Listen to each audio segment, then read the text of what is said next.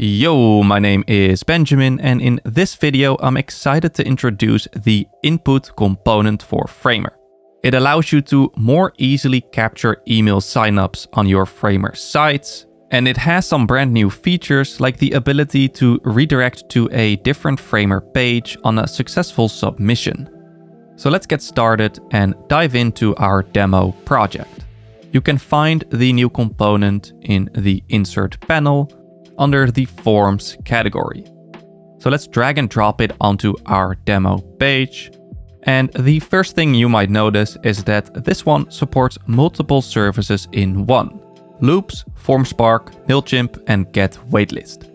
I'll go ahead and connect this one to the Framer newsletter, so I'll paste our Loops ID. On successful submissions, we can do one of two things. We can either open an overlay or we can redirect to a custom page. This is especially powerful because it allows us to design our own thank you pages in Framer. But first, let's customize our input a little. We can change the layout as such. We can also pick custom typefaces. So let me add a web font to both the input and the button here. I'll do the same for the button and we can change the size and the font weight as well. There we go. And this component is especially customizable. Everything from the layout to the colors to the typefaces can be customized. So let's invert the color scheme a little bit here. I'll also tweak the padding just a bit and let's do the same for our button. There we go.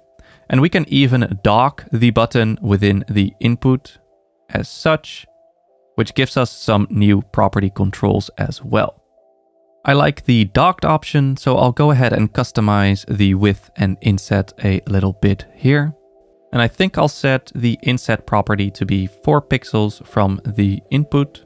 This is looking better already and next we can start adding some borders. So I'll go back to the input controls and select the border here. And let's add one that is quite subtle. And then we can also add a focus state.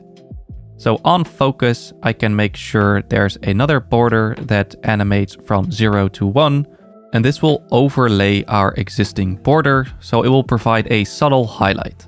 And then next we can add the real magic, which is the redirect on success. So we have two pages in this project, the homepage and a thanks page. And the thanks page is just a simple confirmation page with a few nice appear effects. And what's cool is that this page could be literally anything, right? You could use the CMS, you could render custom components, it could be anything. Speaking of components, let's make sure that our input component also has a nice appear effect.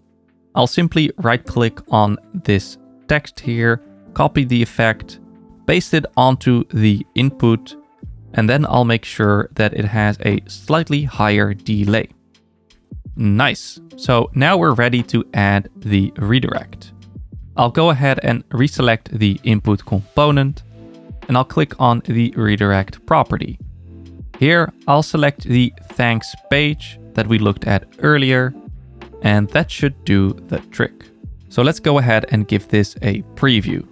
The component is powered by motion, and it has a few nice touches, like this little shake if you submit without typing anything, and you can see our subtle focus animation as well.